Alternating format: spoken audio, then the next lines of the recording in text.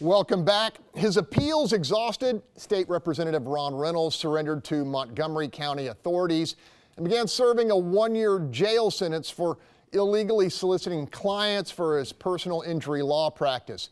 Now, despite his well publicized troubles, Democrats in District 27 awarded him a primary victory with 61% of the vote, and he is unopposed in November.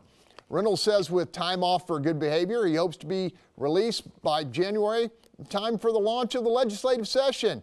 Panel, what's your point? Nyanza, what do you think of this? Well, I think that Ron let it go way too far.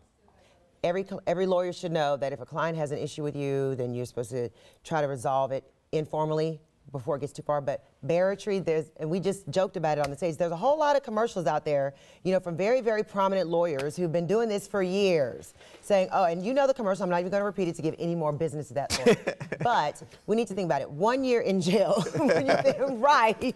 But 61% of the voters voted to reelect Ron Reynolds he's going to jail to come off of this charge and going back to work in the legislature.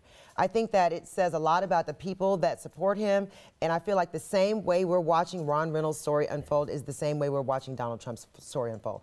People that will see him do wrong will still support him.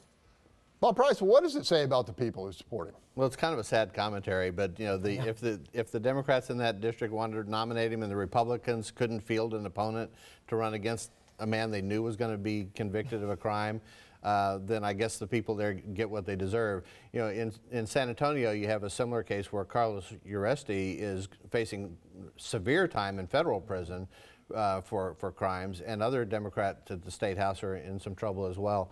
So, but the voters keep sending them back. So. We're going to have to leave it right there.